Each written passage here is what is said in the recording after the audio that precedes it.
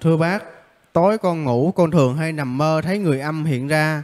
Vậy có phải là do công đức của con ít quá hay không?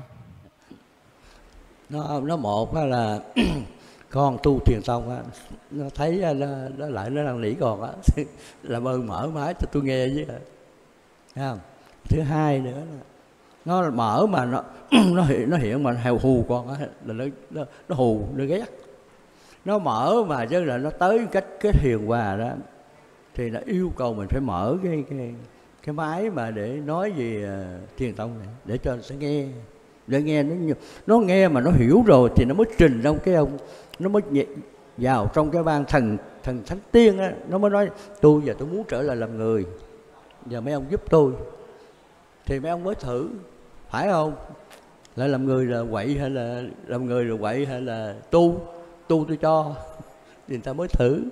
Vì thế mà cái thiền tông ra đời á, mở ra cô hồn nó nghe nhiều lắm. Có hai dạng, một dạng đến nó phá, một dạng đến nó năn nỉ mình. Nhưng mà giữa mình với nó nói không có được.